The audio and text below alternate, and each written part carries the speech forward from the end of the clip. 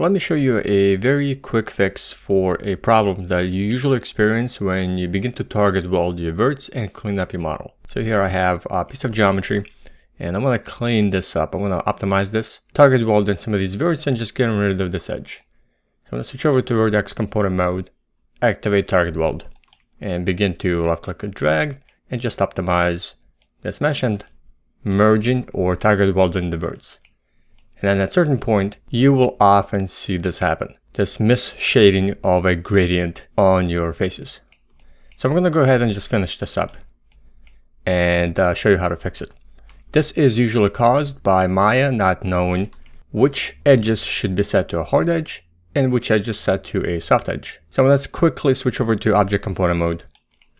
And I'm going to activate the visibility of soft and hard edges so I can see which ones are soft and which edges are hard. There are multiple ways to do this, but the quickest way is to go to Attribute Editor, then go to Mesh Component Display, and enable Display Edges, Soft and Hard.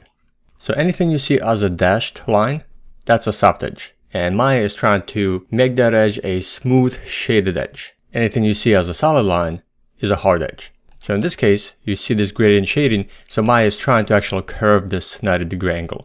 But this edge right here, that, that, that dashed line should be a hard edge. So all you need to do is just go around the mesh, see where there's a dashed line, that should be a hard edge, and set that edge to a hard edge. And any edges that should be soft, but they are hard, you just switch them over to a soft edge instead. So I'm gonna switch over to edge component mode, select the edges that I want to set to a hard edge. Here are a few dashed lines here. Go ahead, select them all. I'm holding down shift and add into my selection. And then once I have them selected, you can go to mesh display and here you have two options, hard edge or soften edge. So I'm gonna set these to a hard edge and that has been fixed. And then a few other ones are like right here, this is a curved surface and I don't want a hard edge right here. I want to actually all soft, three edges. So I'm gonna select this edge right here. Uh, there's one over here on this side. That one is good and that one's fine as well. So these two I'm going to set to a soft edge. Mesh display, soft edge.